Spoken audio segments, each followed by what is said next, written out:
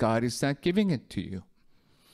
But because God is not giving it to you, because you take for granted everything that He gives you anyway, what happens is we start desiring things that God usually don't give us. We start treasuring them. And we forget that this will not make us happy. These things are just temporary toys for us.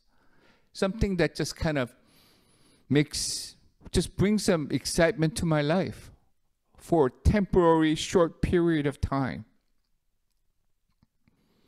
That these things are really not going to be that helpful or beneficial for me. We need to realize that the greatest treasure we have is God. Now, as we close today, I want to read another verse in Matthew, this time 621, chapter 6, verse 20, it says this For where your heart, well, where your treasure is, there your heart will be also. For where your treasure is, there your heart will be also. So the real question is, what is the true treasure of your heart? What does your heart treasure? What's in there? In the deep place of your heart that you hold precious. When you realize the truth that God's love and grace, when you know that you should love Him, not only to return God's love, but because you know that relationship God is the only way to be truly happy and fulfilled. Can you, like Jesus tells us today, sell all that you have, spend all of your effort, spend all of your time, all of your energy, all of your heart to have this hidden treasure of the kingdom of God, kingdom of heaven. This is the vow. This is the commitment that we've been talking about for the last month. This man sold everything he had because he found the true joy of life. He found treasure.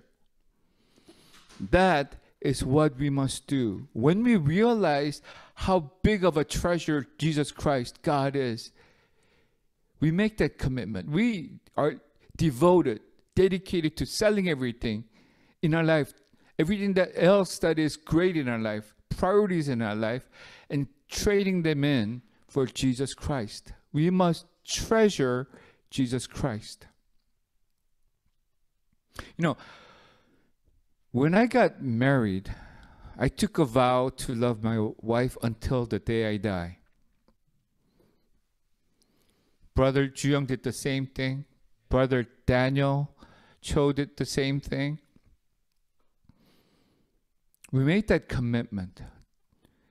Did I love her? Of course I did. Did I treasure her? Of course. But as I spent more and more time with her, loving her, she became more and more of a treasure. Do you understand? At the beginning, I only treasured her maybe this much because this is all I knew of her. But as time passed, as I got to know more and more and more, the amount that I treasure, the amount she's important in my life, the amount that I cannot live without her increases exponentially. Same with God. You may start your relationship with God only based on your knowledge. You don't have much experience. Maybe you don't treasure Him that much right now, but you know you should. There's a knowledge that you want to be committed to Jesus Christ and God to all of your life because that's the true way to be happy. You know that. You might not treasure God that much, but you take a vow and then you start. And as you spend more time with Him in your QT, in your prayer, in your life, in your walk, how you live, how you breathe, every situation that you face, you bring God into the relationship and you live your life through God, with God, I'll guarantee you, as you build your relationship with Him, the, the amount that you treasure Him will grow more and more and more. You will really treasure God. He will become for you the treasure of joy. Amen. As you so as you take this commitment and fellowship with God through continual quiet time, through prayer in your life, you will be filled more and more with God's joy. The more you know, the more you'll love, and the more you'll treasure. You know, in treasuring God, you might have to give up some of the temporary treasures of this world. Things that your friends treasure, things that are important for your friends. But what you're going to experience is when you give up this small, temporary, worldly pleasures of the world, you're going to be experiencing surpassing joy and worth in God. And so, more and more you experience, more and more you're going to be happy, fulfilled. More you're going to treasure God because you know He could give you surpassing joy and worth. The more you experience God and experience the, the joy of treasuring God, the more you will be happy and fulfilled, obeying Him and following Him. We all know that things are just things, right? Whether it be your cell phone, your computer, your Xbox, your PlayStation, your toys, whatever it is, things are just things. And nothing is more precious, more valuable than your parents and God. I want to challenge you as we end 2020. 2021, don't take them for granted. Don't take your parents for granted. Don't take God for granted. Don't be ungrateful. Remind yourself that they are the treasure of your life not only do they provide everything you need, but they love you.